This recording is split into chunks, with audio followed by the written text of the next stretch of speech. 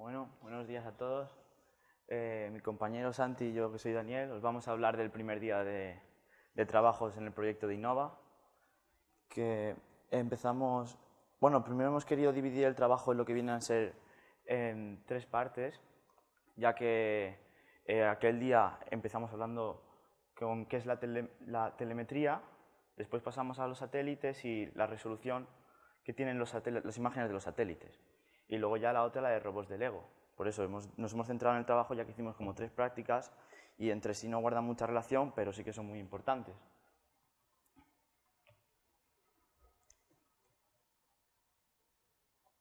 Bueno, pues yo voy a empezar hablando de la telemetría. Para empezar hay que saber en qué consiste la telemetría. La telemetría se basa en la obtención de información de objetos, pero tiene una peculiaridad, y es que el, digamos, el objeto reconoc- reconocedor y el reconocido no pueden estar en contacto, tiene que ser a distancia. Por ejemplo, me explico, yo puedo tocar con esta mano este objeto y saber que es una mesa por la forma, pero esto no sería telemetría, ya que los dos objetos están en contacto. Para que se considere telemetría, tienen que estar a distancia.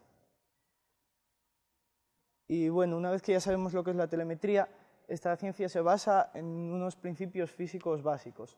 El primero es el espectro electromagnético.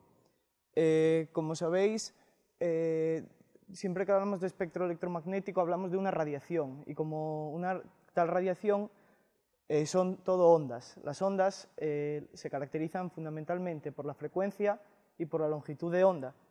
Aquí podemos ver un gráfico en el que se ve todo el espectro electromagnético. Y tan solo esta porción, más o menos, es el espectro de luz visible. Eh, pues, pues, Vale, otro principio físico es la radiación térmica. Esto, eh, bueno, aquí podemos ver a nuestros compañeros con una cámara térmica, que fue la práctica que hicimos en el laboratorio. Como sabéis, todos los objetos desprenden calor, radiación térmica, y esta radiación va en función, pues, de, más que nada de, las- de la naturaleza del propio objeto. Esto no es tan sencillo, sino que se basa en varias leyes, como la ley de Planck o la ley de Kirchhoff, pero no las vamos a explicar, no por el hecho de ser complicadas, sino porque si no se alargaba mucho la presentación. Eh. Otro principio es la influencia de la atmósfera. La radiación que llega del Sol, sabéis que no penetra directamente sobre la superficie terrestre, sino que tiene que atravesar la atmósfera, que es una capa de gases que recubre la Tierra. Eh, esta capa es tan importante porque eh, digamos que tiene dos objetivos. Uno es absorber parte de la radiación que entra del Sol.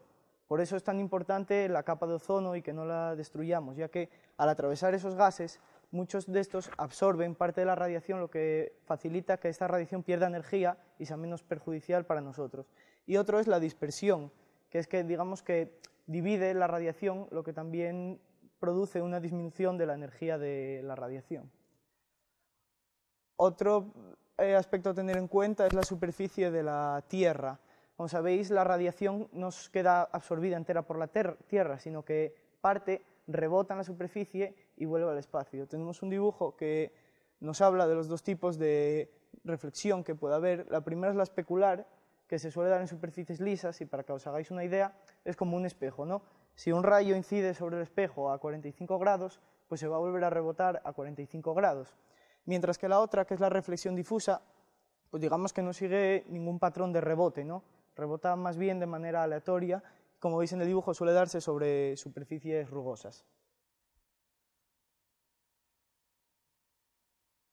Bueno, y ahora brevemente os vamos a hablar de los satélites, los satélites artificiales. Todos sabéis que los satélites eh, son, digamos, los protagonistas de la telemetría. Eh, sabéis que tienen una órbita, que es el- la trayectoria que siguen alrededor de la Tierra, y esto, los satélites no se, digamos que no se escapan de esta órbita debido a la gravitación que ejerce la Tierra sobre ellos. ¿no? Y está compuesto de distintos sensores, activos y pasivos. ¿En qué se diferencian? Pues, por ejemplo, pues los pasivos obtienen la radiación que necesitan a través del Sol, mientras que los activos, ellos mismos generan su propia radiación. Tenemos un, bueno, aquí podemos ver todos los satélites que están alrededor de la Tierra. Algunos conocidos, por ejemplo, que conocéis todos, es el Meteosat, que es el de, que utilizan para el tiempo, que avanza, se focaliza en una zona de la Tierra y gira a la vez que la Tierra, por lo que podemos obtener imágenes de la evolución del tiempo en esa zona. Tenemos un cuadro con el que vamos a explicar pues, las ventajas y las desventajas de los satélites activos. Eh, las ventajas, pues que no dependen de las condiciones atmosféricas ni de la luz y que tiene más aplicaciones que los satélites eh, pasivos. Sin embargo, también tiene desventajas y es que estos satélites, al ser, digamos, autónomos, pues también son más caros y la potencia es menor que si la radiación la, obtuvieran del Sol. Mm, bueno, y ahora mi compañero Dani os va a hablar de la resolución. Yo voy a hablar de la resolución. Antes de empezar a meternos con la resolución de las imágenes de los satélites, os voy a explicar brevemente qué es la resolución. Eh, la resolución viene a ser lo que normalmente asociamos a, lo que, a fotografías que hacemos con la cámara digital, ¿no? A cuánta información nos puede dar una imagen. Las imágenes del satélite no son fotografías, sino que son representaciones gráficas de los datos que toman estos. Lo que hacen es coger, analizan lo que es la radiación electromagnética y esta la dividen en una serie de áreas o bandas en el espectro electromagnético, como ha dicho él, que vendría a ser esta gráfica de aquí. Lo que podéis observar aquí, estas tres primeras bandas o áreas serían las, que, las visibles, las de los colores normales, que las que hemos visto antes. Luego estas dos ya son las que no son parte de las visibles.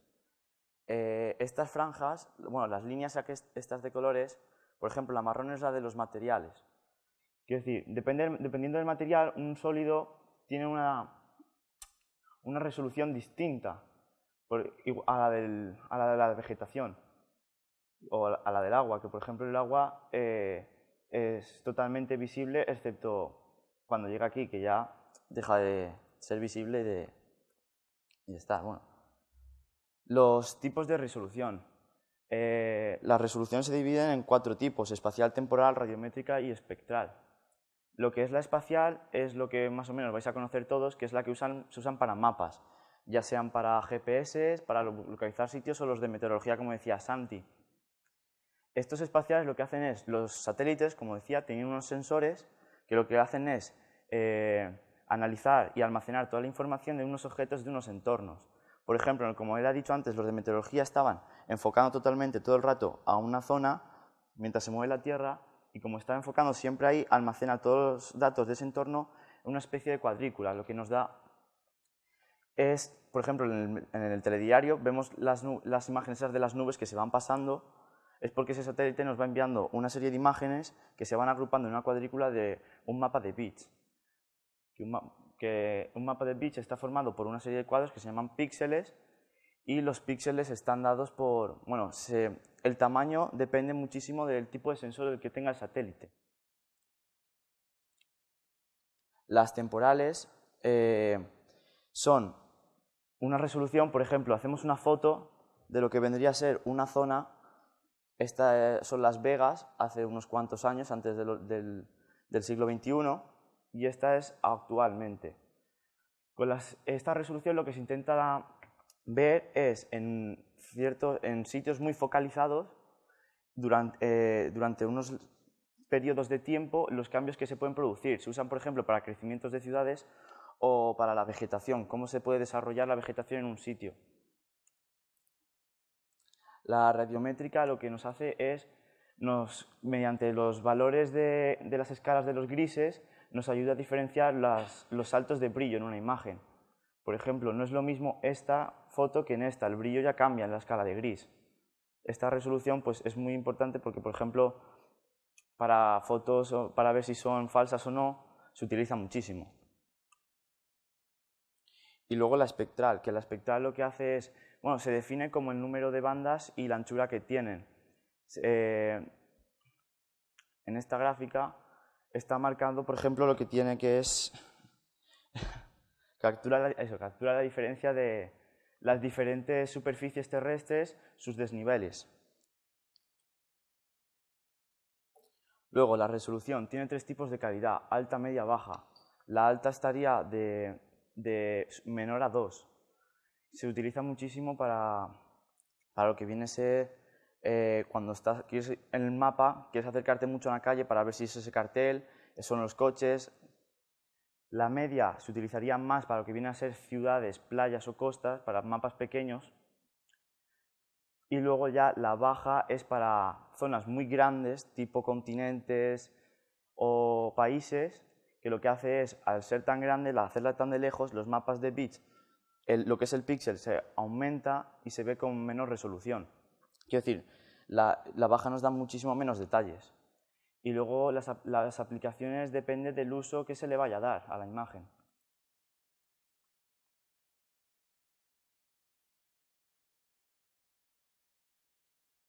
Bueno, pues ahora yo os voy a hablar de la programación robótica. Programación robótica es una fácil aplicación de la telemetría y básicamente consiste, como su propio nombre indica, en la creación y la construcción eh, de robots, que normalmente son seres de marca Lego, seguro que alguna vez visteis alguno, que pueda realizar una determinada opción, como por ejemplo darle un balón o seguir una especie de camino marcado en el suelo.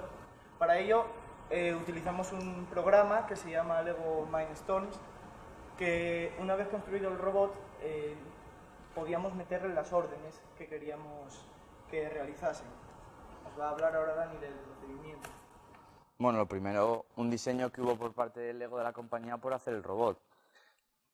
Bueno, luego la construcción, que es lo que nos centramos nosotros en nuestro proyecto. Aunque penséis que es por ser de la marca Lego, es un juguete, eh, no tiene nada que ver, porque sí que tiene las partes de pieza que tú las reconoces de cuando has jugado niño, pero luego, por ejemplo, se le añaden, como se ve aquí, que vendría a ser como una pequeña CPU del ordenador conectada a una serie de cables y esos cables están conectados a sensores, por ejemplo, este, y otros que tenían aquí atrás para las ruedas y para los sensores de las líneas. Luego la programación.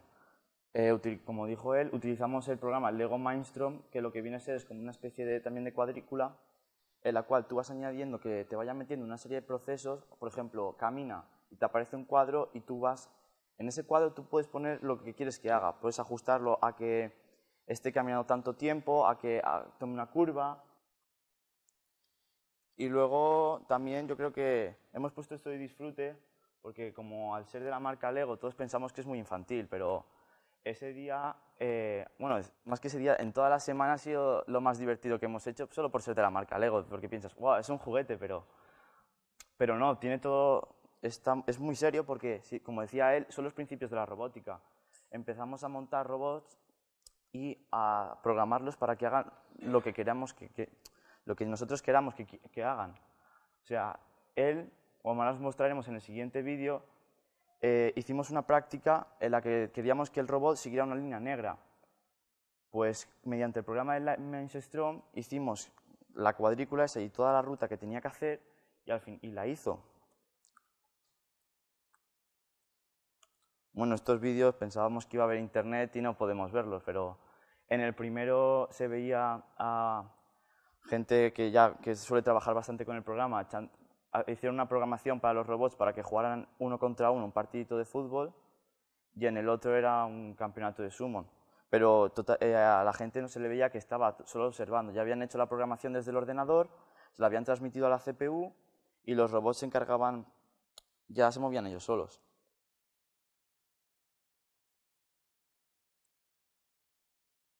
Esta es la que hicimos nosotros, la que os explicaba antes de la línea negra. ¿Veis la lucecita esa? Eso es un sensor que lo que hace es jugar con los brillos de la superficie y tú le marcas para que siga uno y va siguiendo la ruta. Es la de los ojos. Este sensor lo que hace es, cuando encuentra un movimiento o algo cerca, lo que hace es activar el brazo robótico mediante el cable y hace que gire el engranaje. Por ejemplo, eh, también tiene otras que eran de sonido, pero no pudimos hacer todas las prácticas porque no teníamos tiempo. Ya habíamos estado haciendo las otras.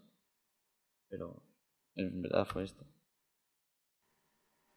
Bueno, y por último, queremos concluir este trabajo pues haciendo una valoración general, diciendo, por ejemplo, que, creemos que el mundo real es tal y como lo vemos, como hemos observado antes, el espectro de luz visible es muy pequeño en relación con espectro de luz, por lo que hay un montón de radiaciones y de ondas que, aunque pensamos que no tienen importancia alguna en la, nuestra vida cotidiana, pues la verdad es que tienen, son de vital importancia. Y ya para acabar, pues agradecer eh, todo esto a los monitores, a Bea, Eva y a Eugenio, que nos ha aguantado suficiente, a los profesores del campus, eh, a los compañeros, especialmente a Fran, que fue el que trabajó con nosotros en el montaje del robot, eh, a los trabajadores del campus y a los servicios como, como papos, buses, instalaciones, excursiones, etc. Gracias por vuestra atención.